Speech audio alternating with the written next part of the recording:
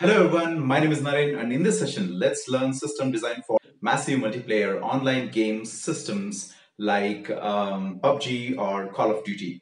These are very few examples, but there are tons of massive multiplayer online gaming services available in these days.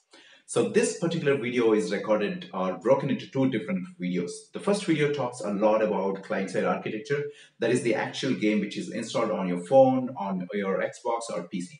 The second video talks about the server-side architecture. You might be wondering why should I learn about the client side or the actual game functionality? It is very crucial for you as a backend developer or a system engineer or an architect. You should understand how game functionality works.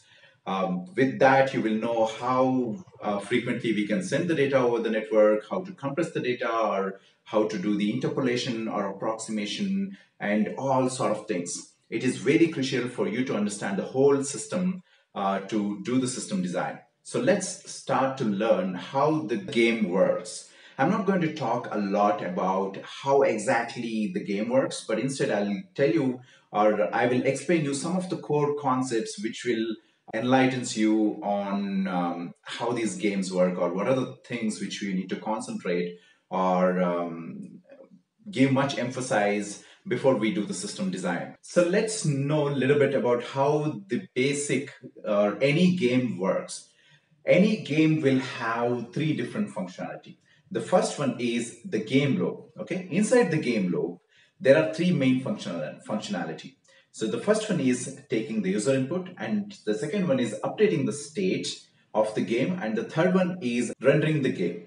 Okay, so the game loop, which will be keep on working um, in a while loop or infinite uh, in an infinite loop, will be calling these three functions frequently.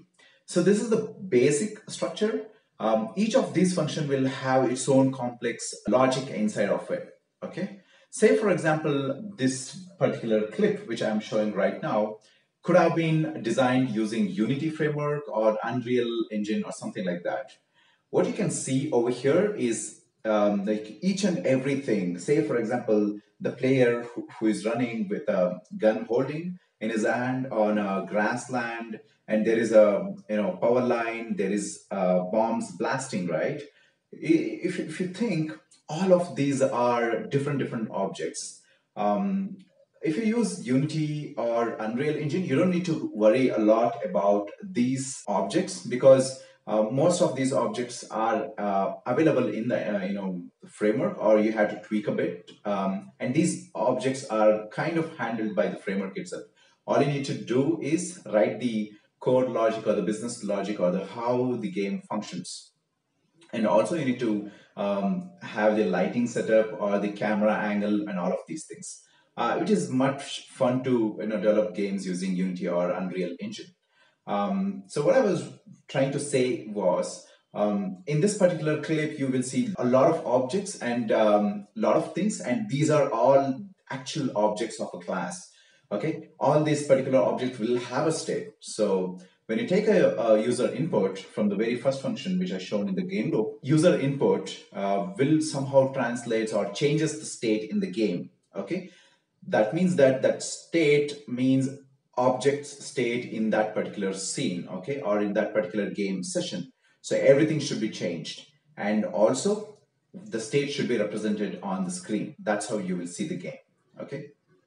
And often in multiplayer online games, these states should also um, be replicated to other user because two players are playing uh, from remote locations and these two players should see the same uh, behavior of objects uh, which is happening in that particular session. So you need to replicate these state of each and every object in the game back and forth between the players to have a seamless experience. The first and foremost thing before you do the system design for these kind of games is to understand what is the nature of game and how the user is interact is going to interact with the game and what type of game it is.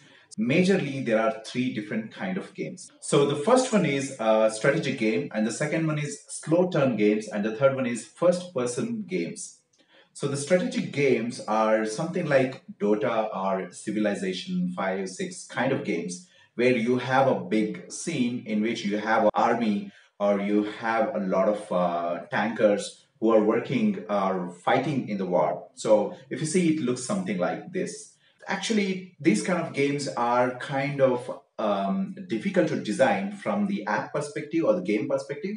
But from the backend perspective, it is a lot easier compared to any other kind of games because all of these are just, you know, all these objects or tankers or the army are just playing on the scene, right? There is no real interaction happening in real time, um, which complicates the backend system design. Okay. And the second type is um, you know turn-based game or slow turn game, in which uh, the, the good example is, for example, chess or poker. In this, uh, say uh, this clip, if you see the poker game, there are like uh, four different uh, people who are playing this poker game, right?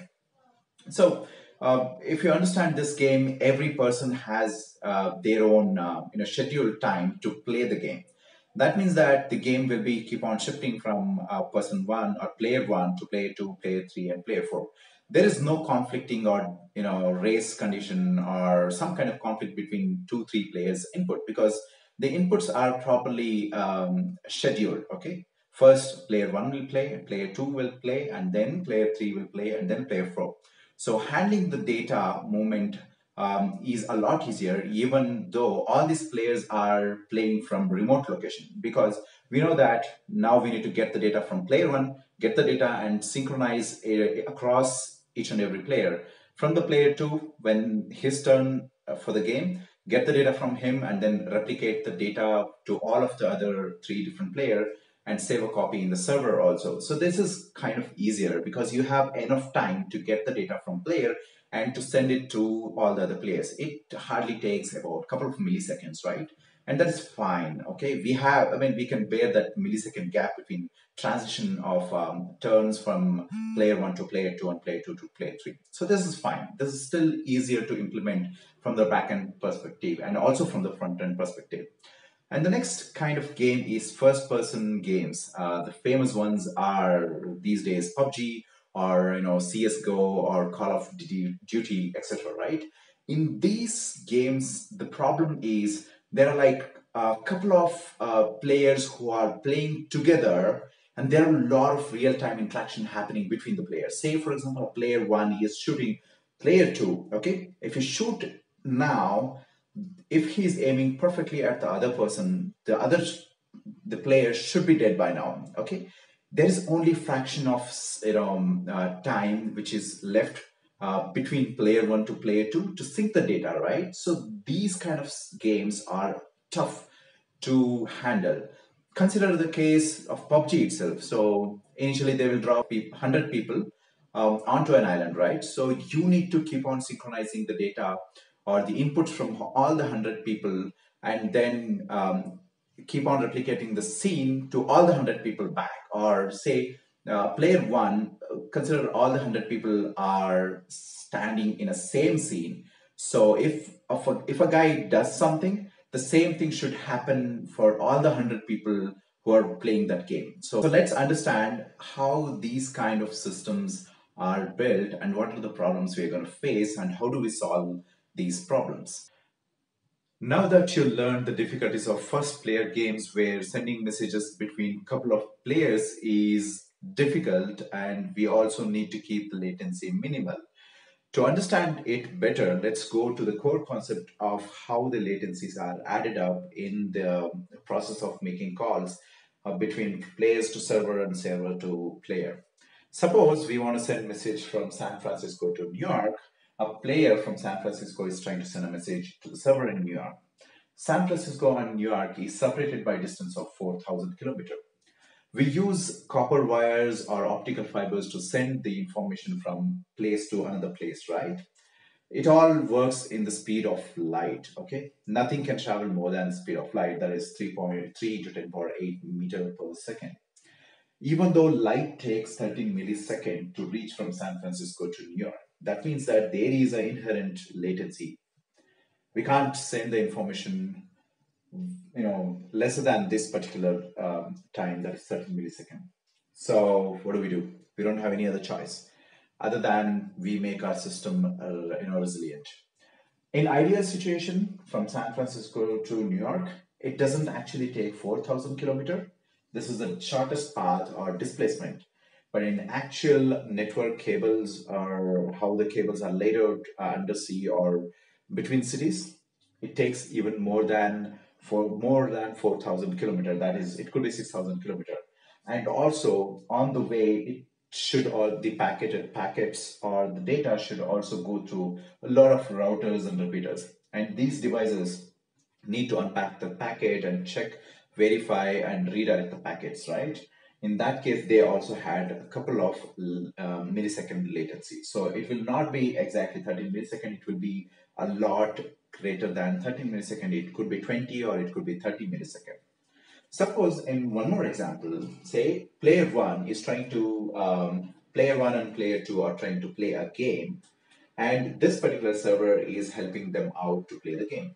Best case is that player one is uh, 50 millisecond uh, away from the server and also player two is kind of 50 millisecond away from the server which is supporting the game.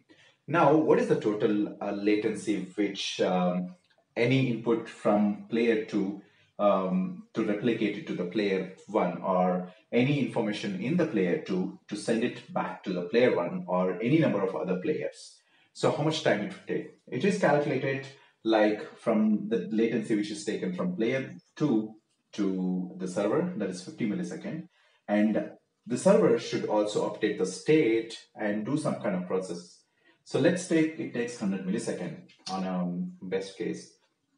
And then it needs to transmit back this particular message which it received from player 2 to player 1 or any number of other players.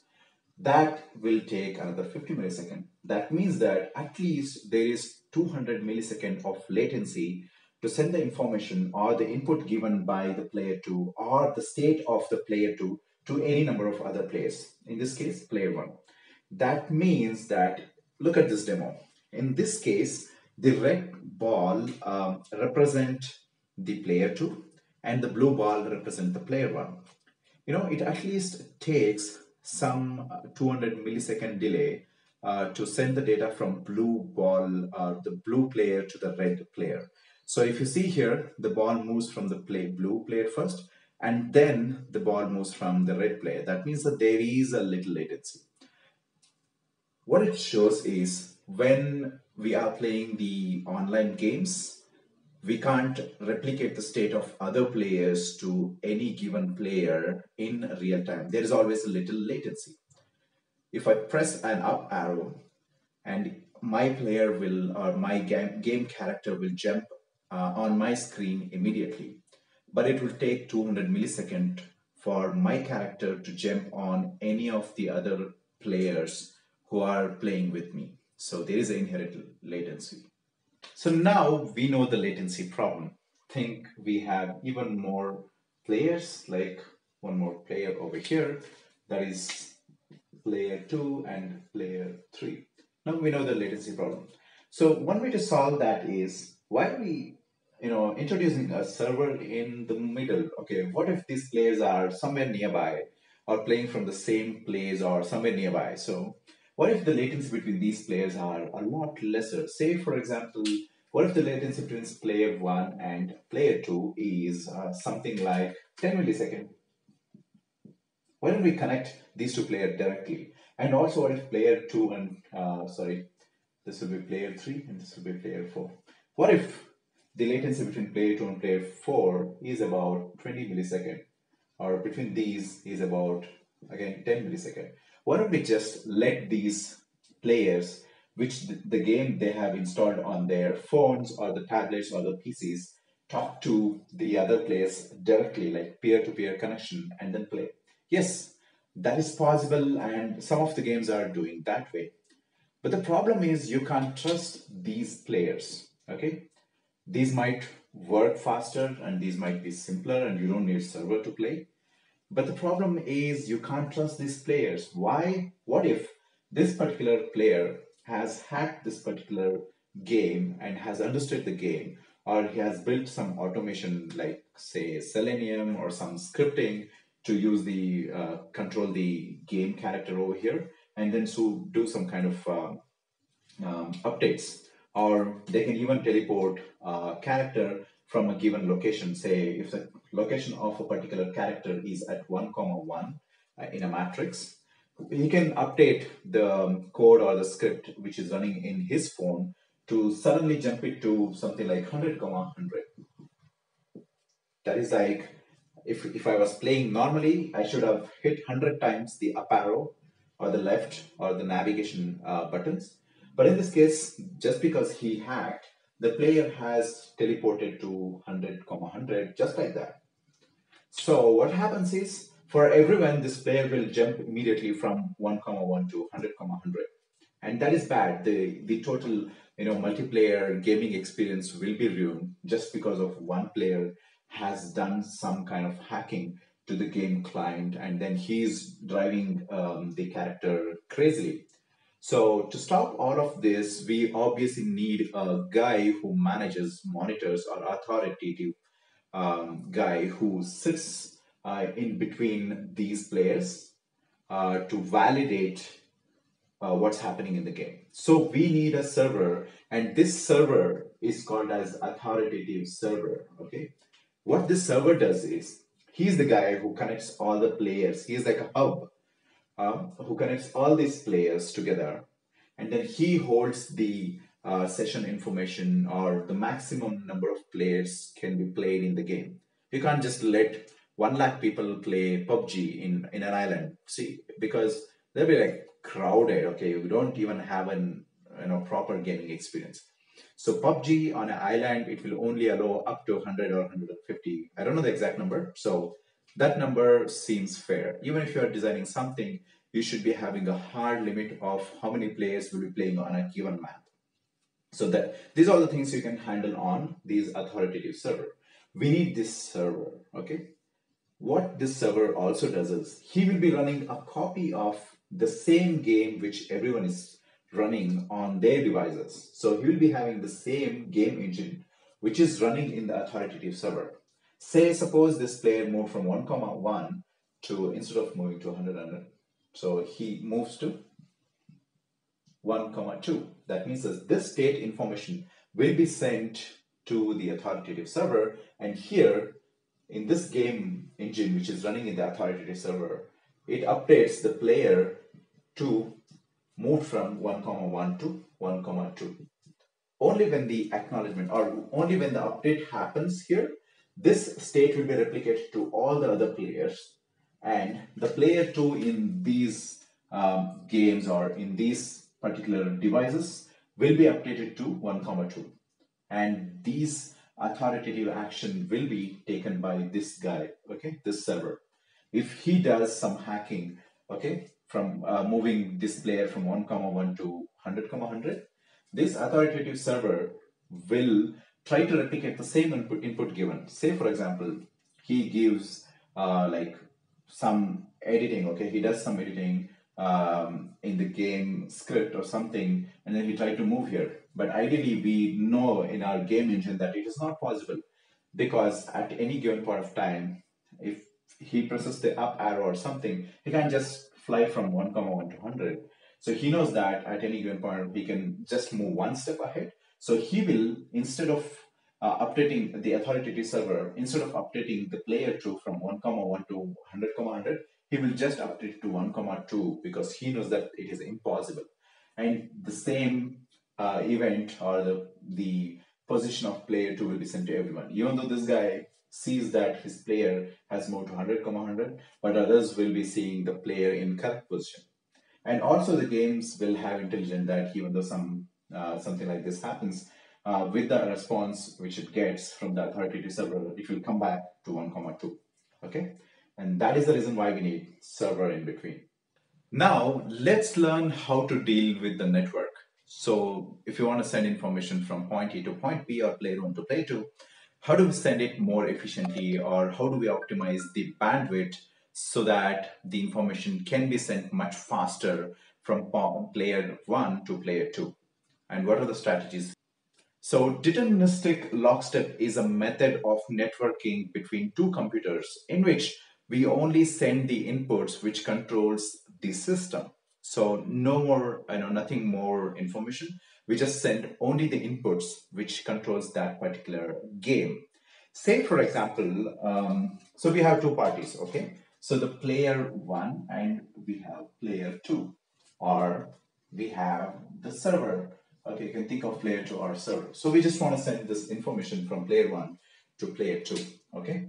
Now, what does deterministic lockstep says is instead of sending this particular player's orientation, position, or anything like that, just send the input given to this particular player or the player who is playing this particular game and you just need to send the information like did the user or the, did the gamer or the player one press the up arrow space or any other controls or the mouse click or something so you just need to send that information over the internet or over the network to the server or to the other player so that way the information which we are sending or transmitting from um, player 1 to player 2 is a lot minimal it just says whether this particular key was pressed or not.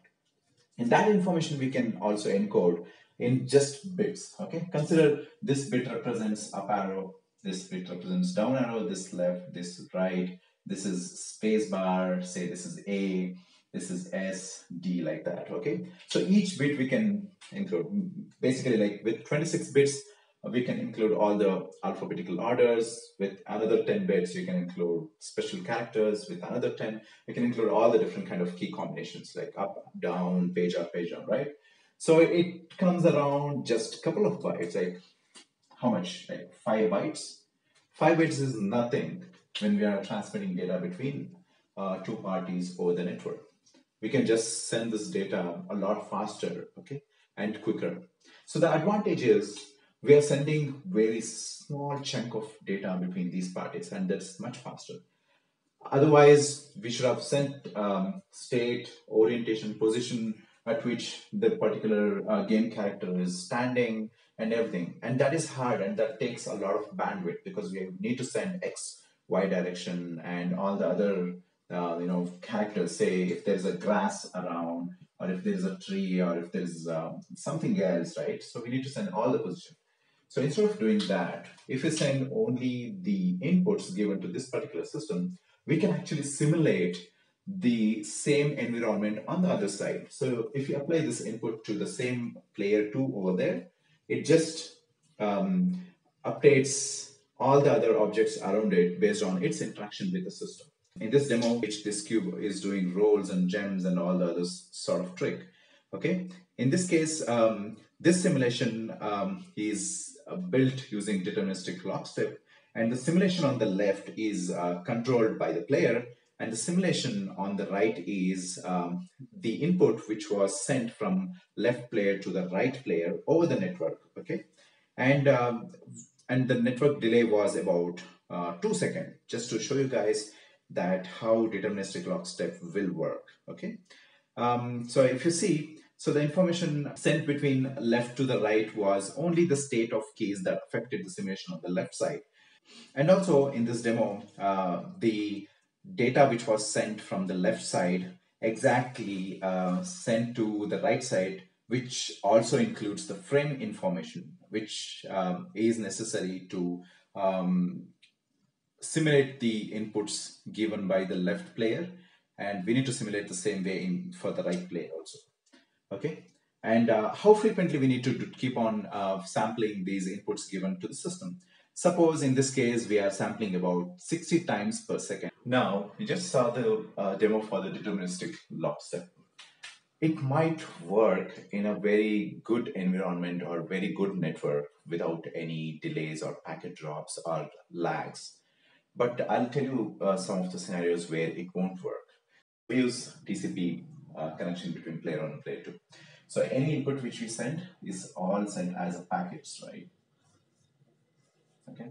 What if for some reason, like, okay, what if the bandwidth was very less in between when the packet is going to the P2? In this case, these packets might get delayed. In that case, this player one will wait. Um, the information for the player one will not be arrived at the exact time or for exact frame.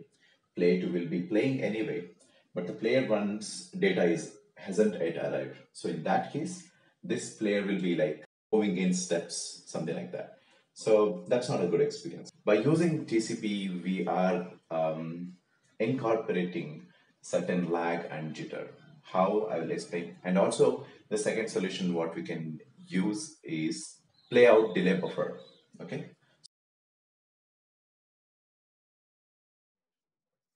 I'll explain play out buffer first, and then we'll go in depth on how we can remove TCP and then use something else to make this um, you know, sending the data and moving the player smoothly. So first, um, let's talk about player buffer. So if you see YouTube or Netflix, um, they're also the same problem, right? Every uh, video frame or um, the data to the video will be sent over the packet. In that case, uh, if there is a lag or uh, if there is a packet drop or if there is a bandwidth issue, then you will see that the video is buffering to stop that, what these guys do, does is they will preload 10 seconds of video or about 5 seconds of video preload and then they will start to play. That way you always have 5 seconds of video in the buffer even if the packet is getting delayed by 1 second or because of some reason you will never see that lag or some kind of um, you know buffering or something like that. So the same thing we can do in gaming also. What we can do is, um, so we know that in our from our previous explanation, we know that we at most take about 200 millisecond. If I send a packet here, ideally we receive at um, you know 200 millisecond. But for some time, some packets might take more than this or less than that also. So how do we incorporate player buffer? What we do is on the other side, on the player 2 side, we'll have a buffer. We will save these packets, okay, for 50 millisecond. So we are adding extra 50 millisecond and that's fine to give better experience. So we will park all these packets we just received um, up to 50 millisecond. That way we have enough data to smoothly move this player without having any jitter or lag. So we will have a buffer on the player to side and we will park for 50 millisecond and then we'll play the or we will simulate the player. Um, okay, so now the total lag is 250 millisecond. And that's fine. We are sacrificing 50 millisecond for you know seamless experience. And that's what it is called as player buffer and the second one is tcp connection. So the problem with the tcp connection is say for example i have these four packets. So this was packet one packet two packet three and packet four okay? Now packet one arrived. Say consider i sent packet one. Packet one arrived at the p2 okay all good so we can simulate something. Packet 2. For some reason, packet 2 was dropped or somehow this packet 2 was lost. But packet 3 and packet 4 is available because TCP ensures that the packets arrive at an order and it is reliable. It won't allow you to access 3 and 4 until this packet is retransmitted from P1 back to P2. That means that to access the, this data, somehow this guy should learn by the acknowledgement sent by P2 and then mm, it should know that P2 was lost and then he should send. It will take a lot of extra time. So what happens is when um, we send acknowledgement for one and we also send for acknowledgement three, uh, even though we are not able to access, the system will send acknowledgement. That's when it learns that acknowledgement for packet two was not received. So he will retransmit packet two. Okay. So when the packet 2 is received, that's when we receive the packet 2 and then we receive packet 3 and packet 4. So it took, you know, round trip time, total round trip time, okay, like going back, the acknowledgement and then retransmitting packet 2. It took, you know, about 400 milliseconds more to receive this particular packet. So our player here was stuck for 400 millisecond just because one packet was dropped. Even though we have four and three packets available, we couldn't do anything because packet two was lost. So let's don't use TCP. Then what are the other options we can use? Why don't we try UDP protocol? So UDP, as you know, it's not connection oriented protocol and it is not reliable and it doesn't send acknowledgement or something like that. The header size of uh, UDP is also less. That way we will save something on bandwidth. Okay. Um, yeah, UDP is connectionless, TCP is connection oriented. So we have to leverage UDP. So let's see how we can use UDP to make our gaming experience better. Okay. So consider at time t, uh, t1 or 1, we have input 1. At time 2, we have input 2. And at time 3, we have input 3. So how do we send the data reliably over UDP? Since UDP doesn't send acknowledgements back and it is unreliable and it is connectionless, how do we uh, send this data so that we won't lose any of the data?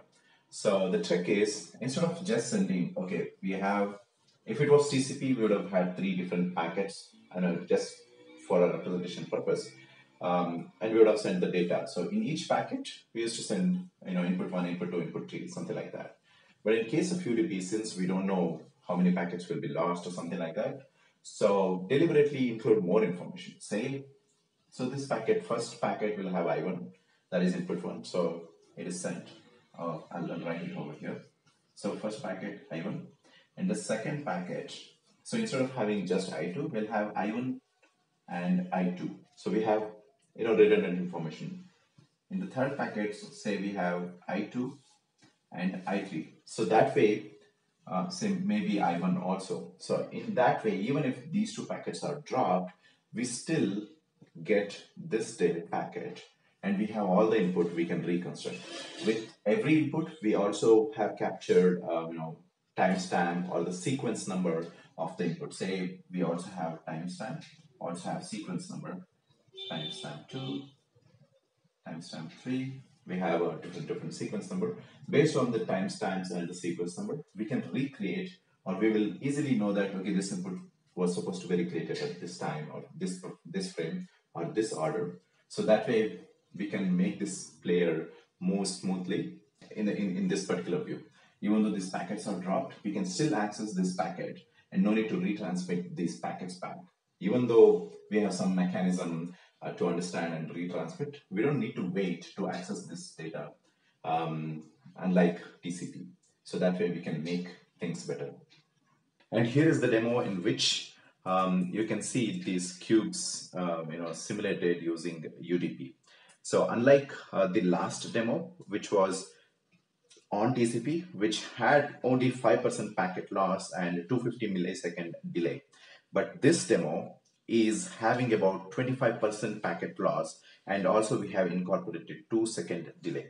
So the data which is sent from the left to right is having a delay of about 2 second and there is about 25% packet loss. Even though you can see how beautifully we were able to simulate, uh, you know, exactly the way uh, the data was there in the left side, uh, we were able to simulate on the right side. So, so far we learned deterministic lockstep.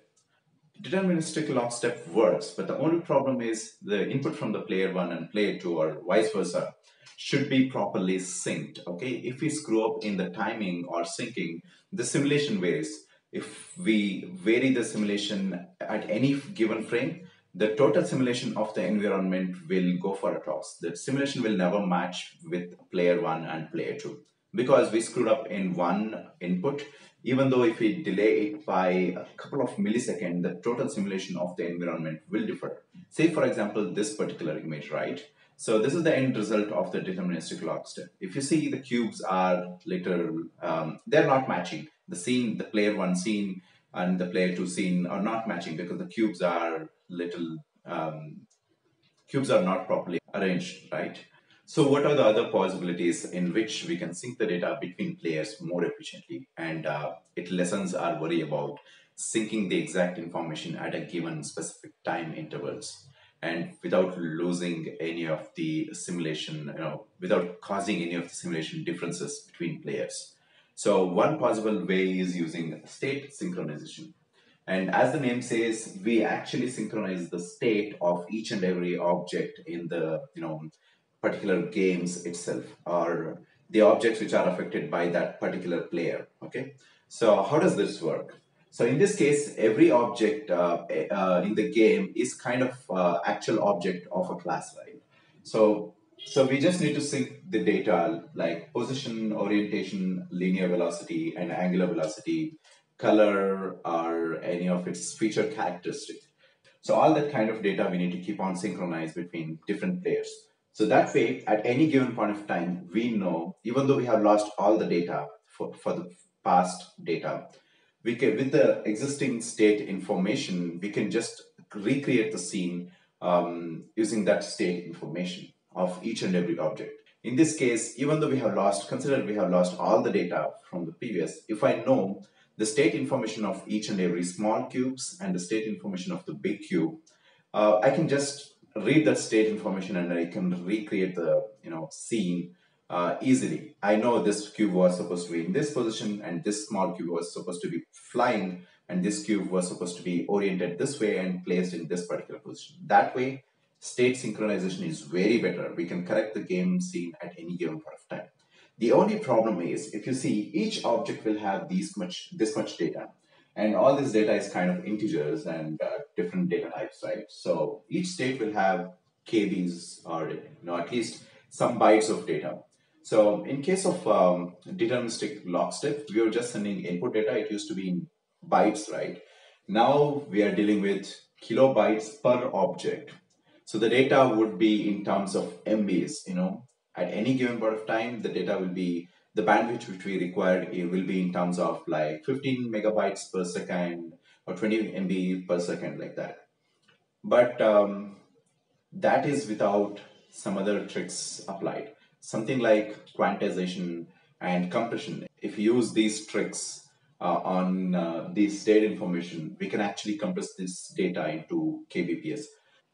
And now you might be thinking, since we have state synchronization, we have each and every object's state, and we will not have any other problems. But it's not like that way. Even though we have the uh, you know state information of each and every object, and we are synchronizing the state, we will have jitters and lagging problem. Um, you know why? Say for example, we are sending the state uh, you know information every uh, you know 60 times a second that is like almost like 60 times a second, still we will have the jitter. Um, so how do we solve? We have to some have some kind of prediction.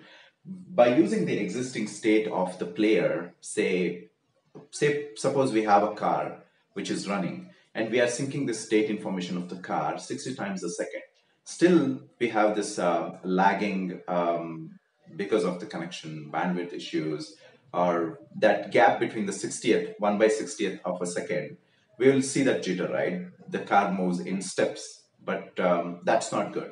So how do we make this car move a lot smoother um, without having, you know, without this car taking steps when, as and when we sync the state information? How do we do that? For that, we need to kind of have some kind of prediction. How can we predict? Say, for example, if a car is having, um, you know, linear velocity or the acceleration data available in that particular car's object state, we can kind of you know predict for the next uh, 1 by 60th seconds um, you know movement okay so if the car is traveling at 100 kilometer per second uh, you know 100 kilometer per hour in that case we can somehow move the car for another 1 by 60th of the second without even we receiving the data from the other end so we kind of somehow predicting how this object or particular player might behave uh, with the previous information or historical information we have so far. And uh, there are so many tricks or different kind of techniques on how we can predict the player's movement. Now, let's learn how do we handle game state, okay? Um, for this example, in this clip, if you see, uh, everything is an object. I have already told you, a player, grass, a bomb, a fire, a truck, or gun, everything is an object. So every object actually takes some kind of inputs. It all physics, right? Um, every object takes some kind of input, a force or any input, and then it should also respond uh, for that input. That and also sometimes these objects will um, update the state of other objects. So there is a lot of dependency. Basically, if uh, for simplicity we can um, take it as it takes input, it also updates the state and also it behaves something. So there are a couple of actions happening here. Say, for example, a player, um, so there is something like Mario, and there is you know Mario okay um, standing on the floor. So now uh, just for the simplicity's sake how difficult is to handle. Suppose if I press up arrow this Mario Mario should jump okay? Say he will be here. So he's in the jumping state now. Now what are the possible cases uh, we should handle at this state is if a player presses up arrow again he shouldn't be jumping again and again because that's not how uh, uh, any you know person or a player behaves. He, he can't fly right because he doesn't have wing. Or if he presses the down arrow, he can't just drop it like that. He should be normally landing at some projection, right? Um, and also um, when he's on the air, if you press spacebar, maybe he he shouldn't be ducking or should be like acting like he's sitting. So uh, we shouldn't be allowing further jump. He should we shouldn't be allowing him to sit, um, or he shouldn't be. Uh, he can fire, but he, he can fire from air, right? So that is allowed. He can fire. So there are different complex um, if and else's, right? So if he is jumping, we can't make him jump again. If he is jumping, we can't make him sit. If he is jumping, it's okay to allow to fire. So there are different kind of combination in any given state. When he's standing on the floor, so a lot of ifs are there. Okay, so um, so so basically what I'm trying to say is um, there are a lot of scenarios to handle. How do you do that? One probability what we can do is uh, very simple, lame kind of coding is if and else's, something like which I'm showing on the screen right now. So it show it has handled a lot of different scenarios. Okay. Um, if the key pressed is B, and once again we are checking if he is uh, jumping and if he is not ducking, sorry, if it is not jumping and if he is not ducking, only then we can uh, we are allowed to allow we are allowing the player to jump. If else, what we're doing is if he is pressing down arrow, if he and inside if he is not jumping, then only we will allow him to duck. So similarly, we have tons of conditions. This way, the code doesn't look neater we have to, uh, and it is not maintainable and it doesn't follow any kind of design pattern. So how do we solve this problem? If you carefully observe um, this um, explanation which I have explained, um, every time a player is in particular state, now he's in standing state, and he's in jumping state and he's landing okay? Uh, so there are, there are different state. He's like standing state and he's jumping state okay? So you are hearing a lot of word you know word called as state state state. That actually kind of should give you a clue that we should have some kind of state machine. So every player at every given point of time should have its own state say take myself okay i'm standing so i'm in a state which is in standing if I am um, swimming, I'll be in a state where it is swimming. Okay. In each state, we can define their own possibility of actions, and that way it is a lot easier to model um, the state of any given player. It looks something like this. Okay. Um, so to explain further, a better approach um, is to use state machine, right? And each state is defined in its own classes. Um, state pattern is a behavioral software design pattern that implements a state machine in object-oriented way. And how do we implement this state machine or, or state you know pattern? So for that, first we need to have a interface. Okay, this is called as a player state in which it defines handle input and also it defines update. Okay, um, these are the two methods. As I already mentioned, every object should take some input and it should behave or should update the state of other objects which are um, you know surrounding to it. Okay, so that way, so for simplicity, we are just defining two different methods in the interface. So every state in here should implement its own classes. In this case, maybe uh, you know, standing state will have its own um, class, and the class looks something like this. Okay. And now we have all the different kind of states. Now, how do we delegate the state? For that, we'll have to build a player. Okay, a player is also again um, class. we can create as many players we want by instantiating this particular class. And each um, player will have its own state. Um, so when the game starts, maybe by default the player is standing. So we will assign the state equals to standing state. And further, when the game progresses, um, the state will change based on the input given to that particular uh, player and how he reacts to the environment. And that's how we should be implementing using state pattern. And uh, I think I have pretty much covered a lot about how uh, we should think uh, from the game client perspective. And um, in the next video, we will learn how from the backend, uh, how do we handle all of these different scenarios or state update or how do we load balance, how do we make users join and play games seamlessly. So if you like this video, please subscribe to my channel. This actually helps and encourages me to produce uh, a lot of system design videos. Um, and uh, please tell your friends uh, to subscribe to this channel. And if you have any suggestion, please do write comments. And also, if you like this video, please tell me um, what I can uh, also improve in my videos. Thank you.